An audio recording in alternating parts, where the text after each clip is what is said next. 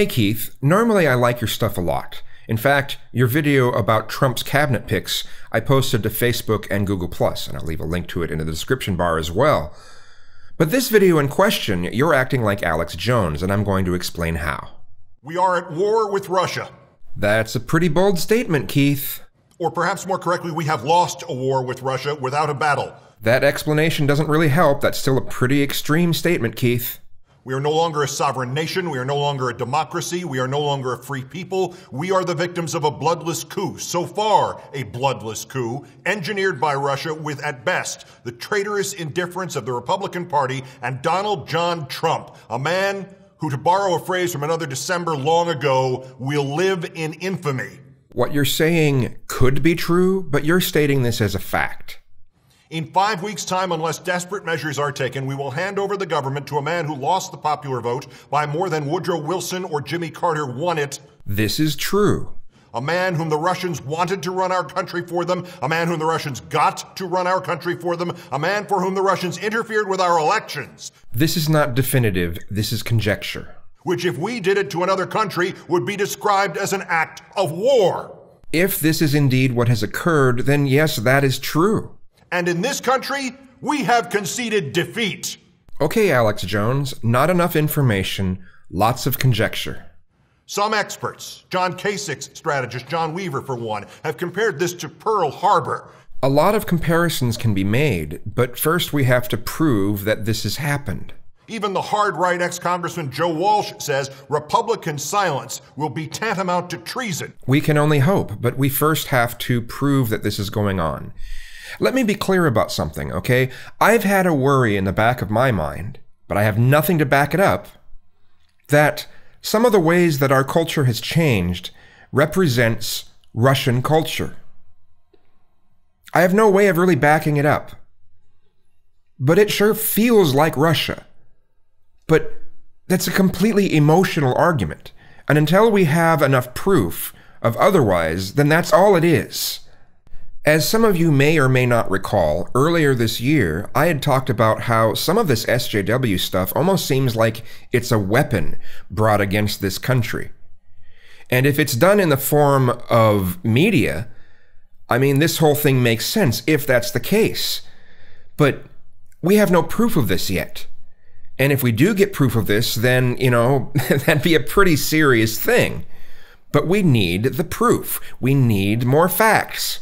Some others, too, have proved courageous. Trump, self destructive to the last, issued a childish statement mocking the CIA, but as Tim Dickinson of Rolling Stone noted, not denying anything. But the vast majority of Republicans have said nothing. And the vast majority of Democrats have said nothing. And the vast majority of the media has said nothing of substance. And the president has said nothing close to enough. The CIA and FBI and Homeland Security, the institutions whose interest in freedom we on the left most frequently distrust, they have said something. And now suddenly we're going to trust them? Why? They said it first to congressional and Senate Republicans in September. Dire warnings. Warnings that Mitch McConnell and other Republicans reportedly buried. Warnings that the Russians, using computer hacking and perhaps other means, were not merely trying to discredit the election, but to achieve the specific outcome of electing their man Trump. The reason why we stopped trusting the CIA about this sort of thing has nothing to do with Republicans or Democrats. It's not a partisan thing. It wouldn't have mattered who was in office in 2003. The CIA tried to shove forth that Iraq had weapons of mass destruction, and it's never been shown that they did. Now, there's a chance that they could have, but I mean, we could have had anyone in office and they still would have said the same thing. And finally, at the very last hour, some of those who did those briefings and some of those who received those briefings leaked the details to the New York Times, the Washington Post, CBS News, Reuters in a torrent of anguished honesty. They said something. They said something as the president not elect began to veer towards appointing as Secretary of State, as our diplomatic face to the world, the CEO of Exxon who four years ago received the Order of Friendship from Vladimir Putin.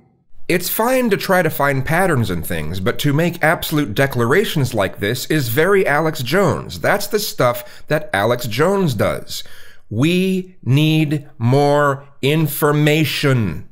They said something as the members of the Electoral College prepared to gather next Monday to finalize this coup. Some, perhaps unaware that almost half the states they represent permit them by law to vote for someone other than the candidate to whom they are pledged, and that only 38 of them need to do so to prevent this coup. Well, I hope they do the right thing. I hope they do what they know is right in their conscience. They said something, as one especially chilling detail in one of the reports sailed by that, quote, the Russians hacked the Republican National Committee's computer systems in addition to their attacks on Democratic organizations, but did not release whatever information they gleaned from the Republican networks. Proof. We need proof of this. It is a short leap from that conclusion, and it is anything but a conspiracy theory to be wondering if the Russians hacked the RNC and have kept what they found there to make sure Trump and the Republicans obeyed. When we don't have enough proof of this, it is indeed a conspiracy theory. The President of the United States, who at this rate will be the last freely elected President of the United States, made in his measured way a small gesture last Friday that perhaps opened the door to these horrifying revelations of a coup by an outside power nearly complete. He asked for a full review, but we do not have time for a full review. The quicker this can be done, the better. But to say that we don't have time, I don't know whether that's true or not. Barack Obama has twice stood in front of America, in front of the world, in front of history, and said, I do solemnly swear that I will faithfully execute the office of President of the United States and will, to the best of my ability, preserve, protect, and defend the Constitution of the United States. Today is the time for him to do so. He must immediately declassify and release all relevant materials held by the FBI, the CIA, DHS, and the other intelligence and security services, and in the White House, and anywhere else in government. And the Attorney General must immediately appoint a special prosecutor to investigate what Donald Trump knew and when he knew it, and what, if any, collusive links exist now or existed earlier between the Russian Federation and the Republican National Committee. It would be nice if Obama did that, but we all know that's probably not going to happen. We still need more proof. If Trump does grab power, he can try to dismiss that special prosecutor, but he will at least have to get the courts to sanction him. And most immediately, the intelligence briefing proposed today for the Electoral College, what the CIA and the others know, when they knew it, how much the Trump campaign knew, that must be conducted without delay and without redactions. So should we have went to war with Iraq?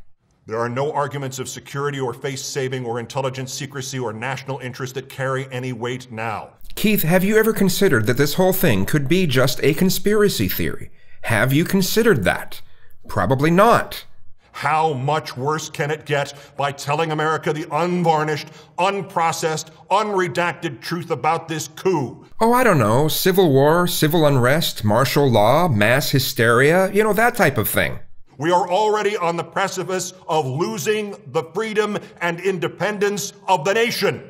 Only if this is true. We don't know if this is true. Dogs don't know it's not bacon.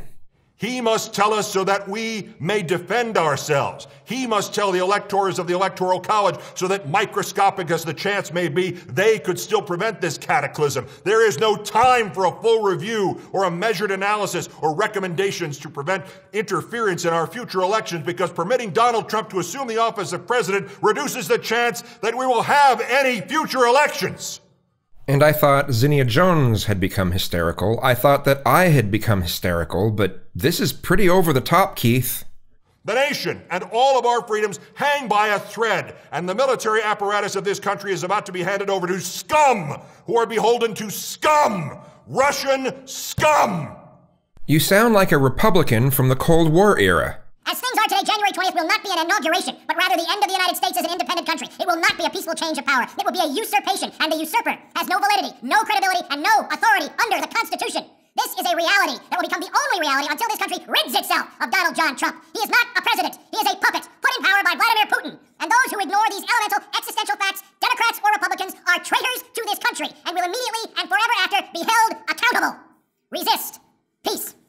If Keith is right, yes, this is horrible, and yes, this is all the things that he says. But we don't have enough evidence. We don't have enough facts. We don't have enough proof. We can't be pushing this Alex Jones type of shit.